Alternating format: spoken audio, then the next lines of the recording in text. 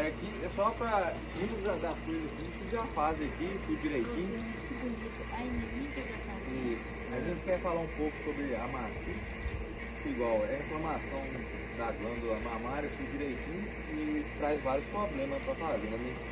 Aqui a gente listou, depois a gente vai dar um pouco direitinho, mas aqui para mostrar que é, o principal problema, traz grave prejuízo ao produtor, é, tem que descartar o leite por tratar, é, a segurança alimentar da cadeia, depende do controle, que hoje o pessoal preza muito pela qualidade do leite, né? E quando for realizado, tem que fazer tudo direitinho, porque gera muito custo, né? Você tem que colocar na ponta do lado, uma marquilha é muito caro. E aqui basicamente para mostrar, aqui a gente não, tirando lá, não usa uma marca clínica não, mas vamos supor, no rebanho de 21 vacas, por exemplo, se a gente vê uma vaca com marca clínica, é aí do tem que ver o grumo, você Tá joga aí. no, Tá. no chão, Fala que a gente E fala e madeira. Itália, já, já sai talhado, né? Aquele primeiro jato que a gente joga já sai talhado. Aí qual que é a ideia? Se a gente vê uma vaca em 21 vacas no rebanho, tiver uma vaca com clínica, nove vão estar subclínicos, que é aquele teste que nós fizemos. Então a gente não vê, mas nove estão na. estão com mastite subclínica, que é a que a gente fez o teste aqui. E aqui é para mostrar que, por exemplo. contamina, né? Contamina, Principalmente é. se você não trata dessa uma vaca, ela Vai espalhando para nove vacas Ela é, subclínicas. contamina todas. Todas, Né? né? Por isso que deixar pro final.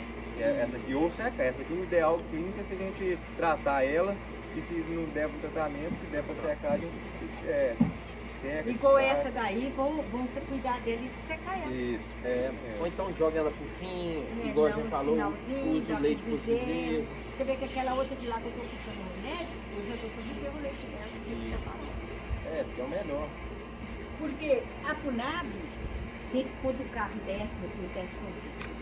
Aí depois a menina vem e fala, Roberto, e Maria, fui num lugar, minha filha, que eles colocaram leite com remédio, É, então, Aí eles colocam no mercado, eu preciso deles tirar o produto do mercado que está contaminado. E Aí teve um dia, o meu menino, ele trabalha direto por E a multa é Agora cara, ele tá né? lá com a furando posto, que chegou já tarde. Aí teve um dia veio pro curral, eu acabei esquecendo de falar com ele que tinha uma vaca que eu tinha aplicado o remédio. Ele Uma. E depois que eu cheguei já estava 20 litros de leite já, que era tarde, eu tinha tirado. Mais de 20 litros, foi beirando mais de 30. Eu sei que eu virei pra ele e falei assim, você tirou daquela? Já tirei, mãe. Então tá bom. Esse leite aqui está caro. É. Com certeza, E pior, que da cobrinha, diz fiscal no curral, diz que aquela assumenta pro dono. Eu tô, meu Deus, mas a pessoa também, igual aqui, eu falo mesmo, qualquer um que chega, o leite que eu ponho, que eu, que eu, que eu não tomo, eu não ponho, É, É, com não certeza. ponho não. Eu posso, se eu precisar de leite em casa, eu vim aqui, tiro o tanque, estou tomando, que eu sei que ali é de qualidade, ali tudo limpinho. Põe de jeito nenhum. Porque a gente tem que ter a é de consciência ética, da né? gente. É, A consciência. E tem gente que não. Aí diz a Roberta que foi aquele pobre, teve que passar, tirar todo esse material de leite que foi que foi. Põe água é, sanitária, Tá? é, água mesmo. Com produto ruim de qualidade, né? Minha filha, graças a Deus, nunca O que a tive gente problema. coloca muito é soda, né? Soda. Leite da ácido. Pois é, eu não ponho nada. Aí, é, é, outro dia, é, a quando a Roberta passa lá em casa, mas é muito difícil, ela chega lá em casa, eu fico assim, aí quando eu vejo ela, começa a esfriar. Oi, Roberta, o que está acontecendo? Não, Maria, fica tranquila, seu leite está bem demais, mas mesmo assim a gente se preocupa, É. né? Está bem demais. Porque que diz ela que quando eu tô assim, não, Roberta, o que vai acontecendo, você pode falar. E se eu tô errado, eu tô errado. Ela tá assim, então, Maria, se todo mundo fosse Bolsonaro, eu tava, eu tava feita, que diz, ela entendia que ela sai da, da- do curral das pessoas, da casa do proprietário, toda escabelada. E xinga, o que, que você vem fazer aqui? Pode ir embora, não tem nada não, sabe? Eu disse, sim, Roberto, eu sou diferente.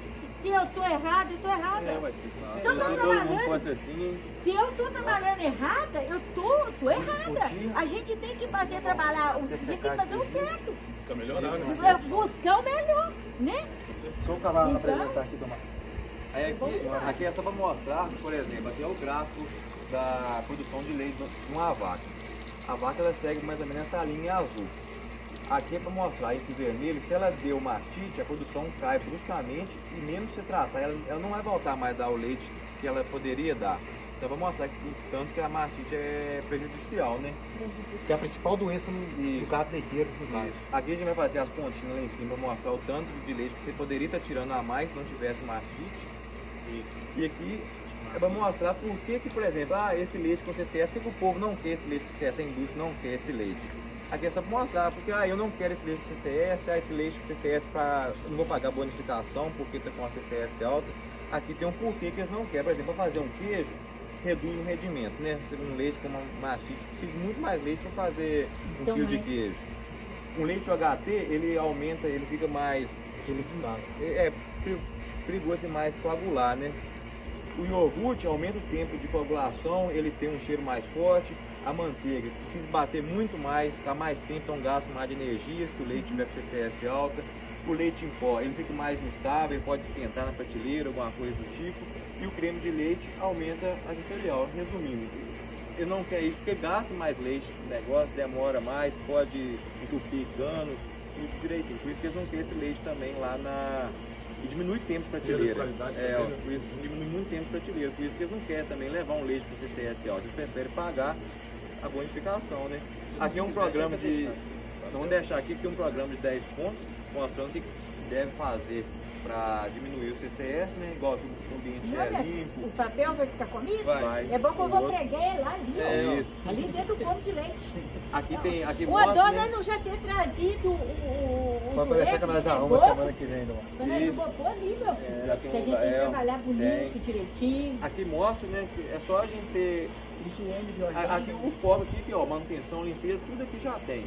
Aqui é só a gente ter mais olhar para o tratamento das vacas, lactação, né? E na hora da vaca da- de secar as vacas, secar com antibiótico bom, para evitar ela parir com mastite igual aquela ali, recém-parida e tá com mastite, né? Então é um prejuízo, né? É.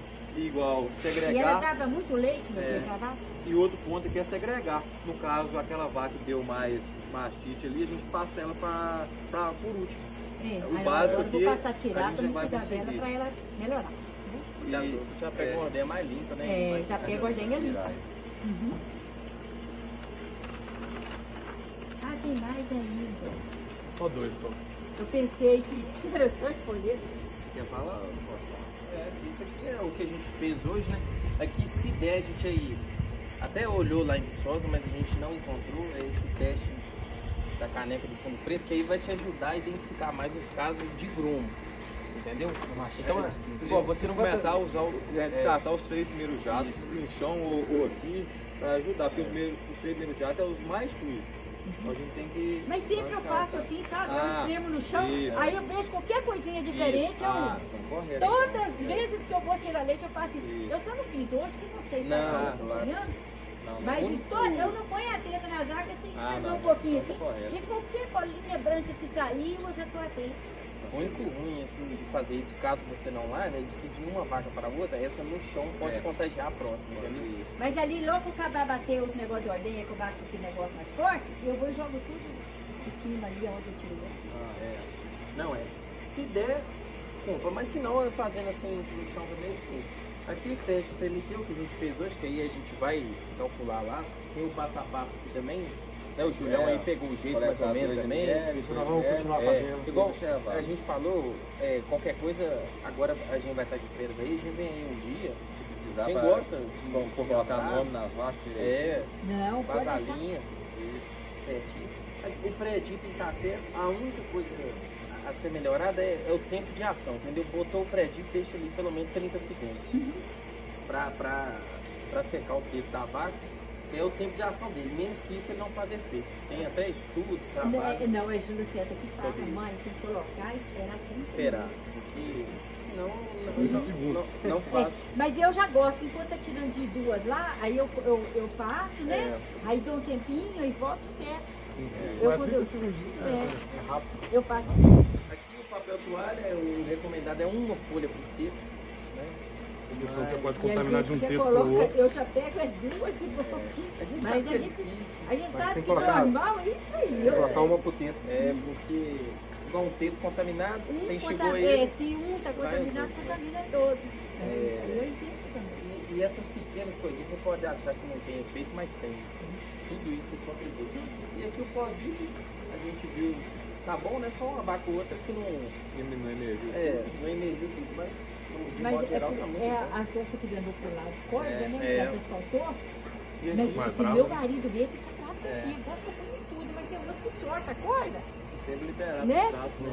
Mas ele fica bravo. Oi? Marido, Sempre você não liberado passou depois de acabar. Mas gente a que a gente fica leva com direto uma coisa na cabeça. É muita coisa, é não dia. Eu já tenho tudo lá em cima, todo então dia. tem dia que é Mas o que correndo. Mas acontece? o Que pai certo- tava com pressa e tratei e foi é embora. é Ah. Ah. Mas as filhas, Uhum. Mas primeiro o tio Leite, depois trata. observando e viram que você faz é, esse direitinho. cachorro agora. Porque é, o pessoal sempre fala. Pra manter é, ela em pé, pra ela não é deitar. compost ou, ou freestyle, né? Que é esse galpão. Aí sempre fala pra na pista ter o trato.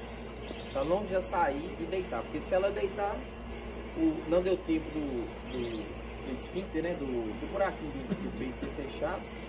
Mas E eu não gosto que as deita no curral, não. É. Assim que eu termino tirar o leite, eu já tiro. Nem aqui na beirada eu não gosto. Eu gosto que já desce tudo tudo aqui. Mas de modo geral, igual a gente falou, né? A gente não veio aqui pra, pra criticar, nem Não, nada. não, eu- aqui Foi só, tentar aprimorar. né? Não, se Fazer o vieram para trabalho ensinar e- nós mais um e pouco, eu fico tentar alegre também um de pouquinho, né? virem, porque é bom que a gente. Eu tô aprendendo, ué. É, ué. né? Tô aprendendo, né? Tudo que o outro me ensina eu gosto, eu- eu gosto de aprender. É. E aqui tem o, o nome dos participantes, né? Que é o Júlio, o Luiz, o Rafael e eu. É, Samuel, E aqui é o a cartilha, mas como você quer O pregar, né, que é, é melhor fez. você pregar essa aqui que tá. Né, que, que ela tá sem dobra, né? Não, nós, é, é, eu quero uma ali, que é bom. não, mas é a mesma daqui. É, então, aí quer, quer, quer pregar ali. Mas não vai pregar aqui. Acho que é pregar o pequeno, não? Não, o prego grandão, Ah. fica bom? Acho que- Nós vamos pregar, mano. Aí quando a menina chega aqui, fala mas a senhora já tem, né? Eu falei, não, vem uns meninos aqui fazer um trabalho. E, e é bom que nós estamos aprendendo, né? Mas tá muito bom, né? De Não, parabéns aí, é. pessoal. Vocês aí. É, né? A gente sabe que não é fácil. né? É, amor. Tem a Benta, nós que é muito serviço. Tem arrebenta e. É porque Não dá faço? dedicar tanto Se eu ficasse, se eu tivesse só o curral e não pensasse nada lá em cima, aqui brilhava. Por quê? Aqui eu já saio correndo, eu tenho horta lá em cima, eu tenho casa, comida para trabalhador, até que hoje tranquilo.